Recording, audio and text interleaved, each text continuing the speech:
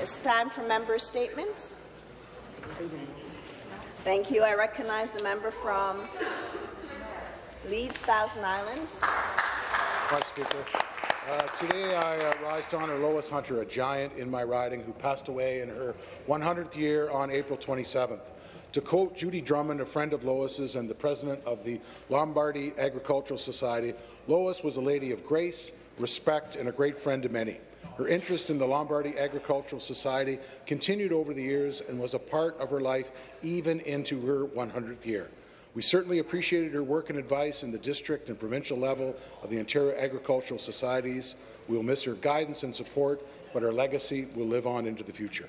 Her granddaughter, Shannon Miller, used the word supporter, quote, whether it was for her family, in her business, or personal endeavours, of the many local organizations she belonged to, of her husband as he served his many years in municipal politics, or of any of and all of her friends, neighbours, and members of the farming community in whatever situation they may have been facing at any given time.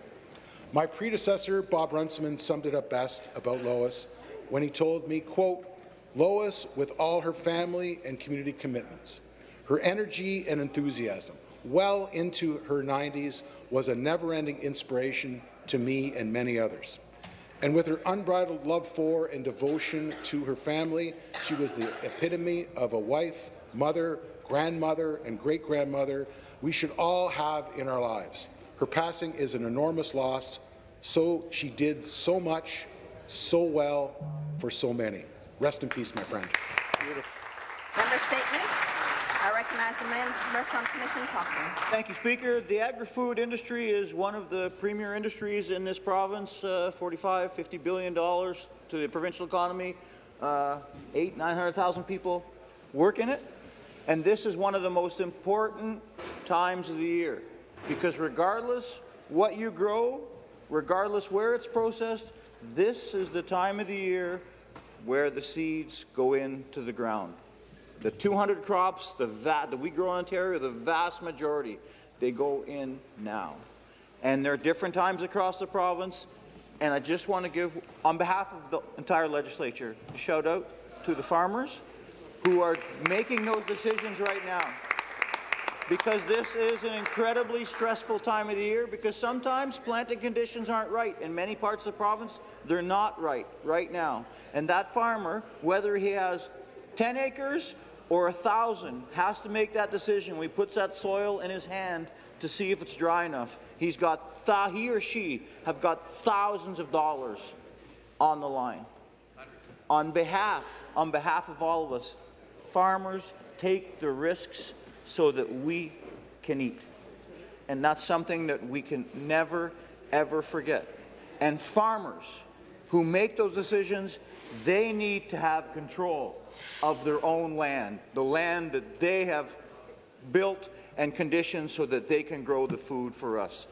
They should control their land. Thank you, Speaker.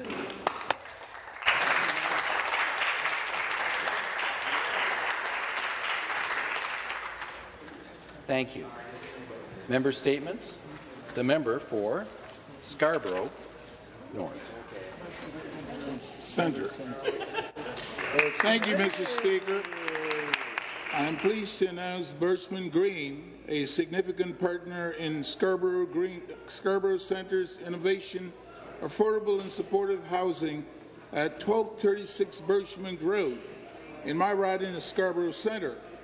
After my visit to Birchmount Green, I realized that our government is getting it done with the action call for affordable housing. Birchmount Green Inc. and Chamberlain Architect Design the 15-story residential building with 220 mixed, affordable and supportive rental unit. This true, thoughtful and inclusive state-of-the-art de design philosophy meet architect and functional needs with 45 fully accessible home outdoor greenery, rooftop garden, library, accessibility, uh, shareable workplace, indoor and outdoor children play area, bicycle storage, uh, dedicated office for support services in the organization. social enterprise, and many other amenities. They deserve praise for the collaboration with many partners state seats in the gallery here today, Tim Nebb, the president, Birchmount Green, and project developer, Maureen Houlihan, City of Toronto, Michelle Nathan White, Community Living Toronto, Heather McDonald, LOFT Community Service, Jessica Whalen, Fred Victor, Abby, Abji Bendola, and Redwood Abby and Rima Goldsmith, Birchmount Green Property Managers. Please continue the wonderful work you're doing in Scarborough Centre and across Ontario. Thank you very much. Thank you very much. Member statements. The member for Thunder Bay, Superior North. Thank you, Speaker. Aujourd'hui, j'aimerais Today, I would like to uh, honor the Francophone who live, work in the region of Thunder Bay Superior North. We have Francophone who live in Northwest Ontario since uh, a long time, and they continue to work very hard in order to make French language teaching uh, available in all the region. And also, uh, since a few years, they have uh, started to work with other Francophone who come from Africa, who live in our region, and who are very happy in our community. For example, this fall we have had the very first celebration of African uh, companies, which actually included a big market and a gala dinner. We, in order to support all these activities and to welcome new uh, uh, comers, we have a Francophone center in Thunder Bay. This organization works very hard in order to put together all Francophones and to build a community. We, they offer their service and they uh, work with all people who want to learn French and who need actually to retrieve their heritage, their Francophone heritage, like I'm doing, and they contribute to social activities, to educational and socio-economic activities in French. I really would like to thank all the Francophones in Thunder Bay for what, what they do, for the work they do, and for the way they support Francophone activities. Thank you very much. Miigwech. Thank you very much. Member statements. The member for Ajax. Thank you, Speaker. Today I rise to recognize a very new business in the town of Ajax called Mavericks Donuts, located at Randall Drive, just across from Pickering Village, who create custom donuts baked fresh every day. I've discovered my favorite flavor is the Oreo Narvera. Who could not like that? Who could not like that? But this story is an amazing story, Speaker. I highlight them because these are two young people that moved to Canada in 2018 and 2020, Krishna and Mansi, who had a dream to start a business and establish a life in Canada, and have done just that. They have struck together through the challenges of being new to the country, navigating on their own, and banding together to create a new business and new, be one of the newest residents of Ajax.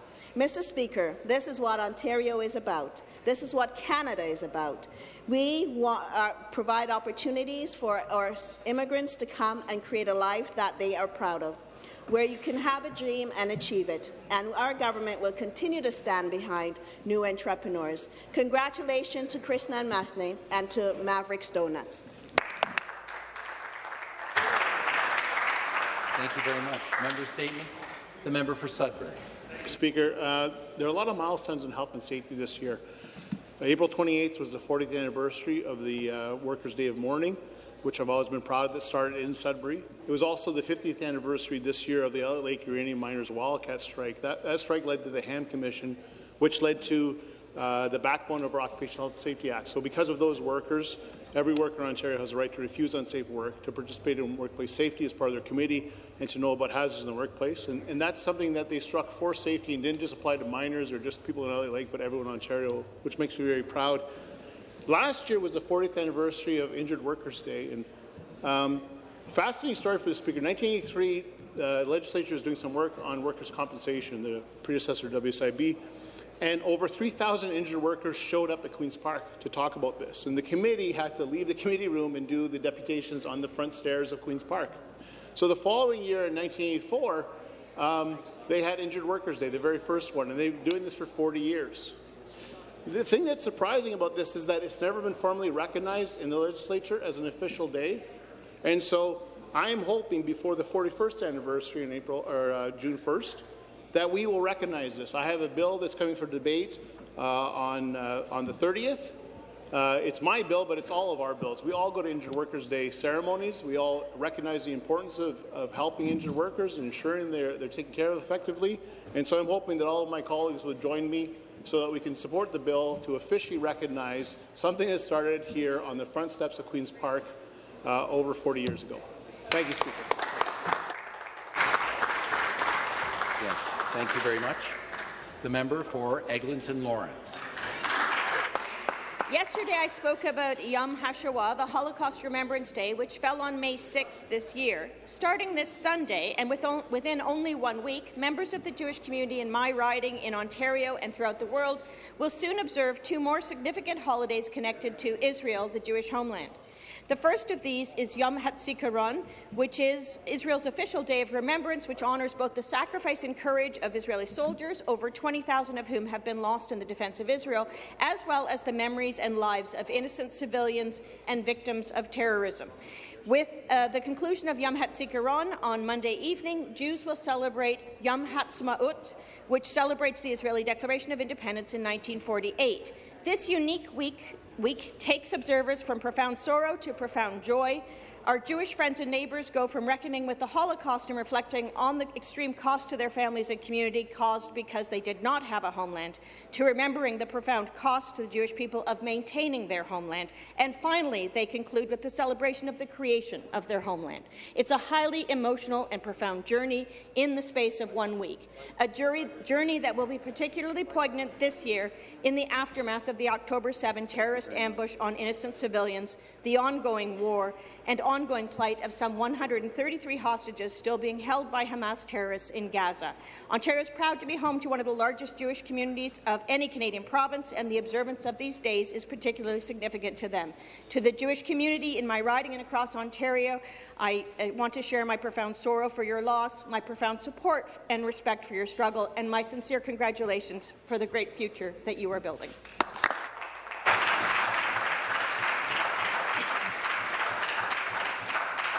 Thank you very much. Member statements. The member for Scarborough-Guildwood. Mr. Speaker, June 1st isn't just any old day, it's Guildwood Day. The weather's warming up and it's time to take the streets to celebrate one of the best neighborhoods in Ontario. For five decades, the Guildwood Village Community Association has been throwing the greatest party this side of the Rouge River. And for, for this 50th anniversary, they're even going bigger than ever. We start off bright and early with a pancake breakfast at the Guildwood Presbyterian Church. We will all need a big breakfast because it's going to be a huge day.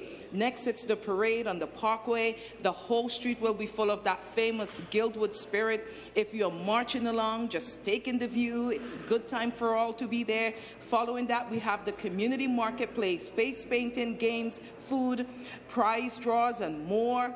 We will top it all off with the Guild Park Evening Barbecue, woo, with musical performances by local artists, Sonic Square, and Tug of War. Guildwood Day is fun for the whole family, so I hope to see all of you there. Um, bring your friends, bring your family, bring your constituency staff, because everyone is welcome on Guild Guildwood Day, and I'm happy to be your host. Thank you very much. Member statements. The member for Essex. Thank you, Mr. Speaker. Today, I'd like to take this opportunity to congratulate one of the local heroes in Essex County. It's our friend Kristen Kennedy. She's the CEO of Erie Shores Healthcare, and she helps run the Mobile Health Clinic. It's a special mobile health clinic that helps provide care for people who are typically not visiting their primary care ser uh, service provider.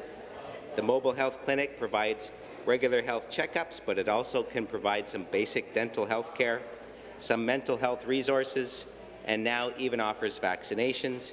It's open during evening hours and also on weekends. Of course, this is all made possible by a special program offered by this government through the Ministry of Health.